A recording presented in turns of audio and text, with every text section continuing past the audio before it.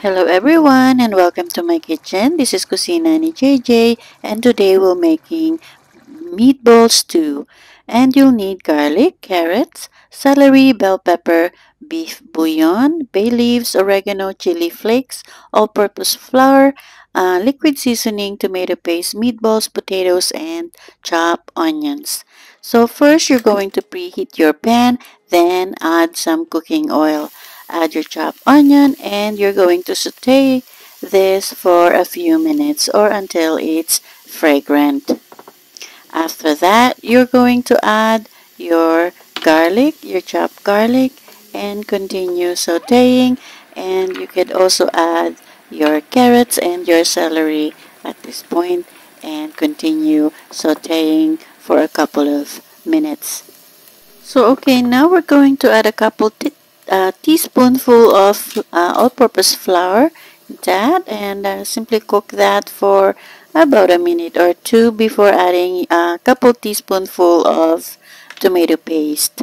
And of course we're going to continue cooking that for a few more minutes before adding some liquid. So now for the liquid I'm only using a regular water and you guys could definitely use uh, beef broth if you wish. Uh, it will be a lot more flavorful but this will be uh, just as delicious because we're using some beef bouillon.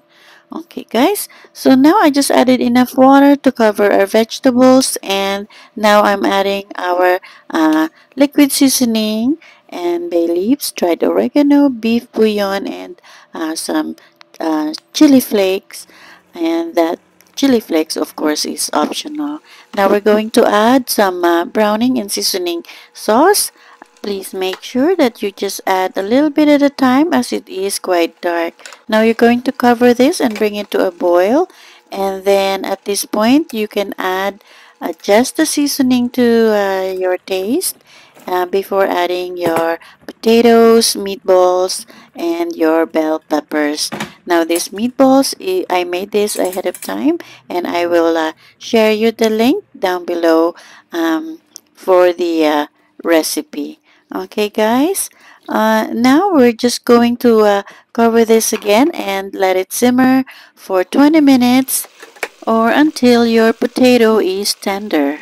Give it a final taste and see if it needed more adjustment.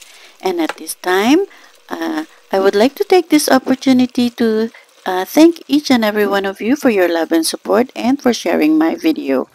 Please subscribe for more recipe. I thank you all so much and until next time.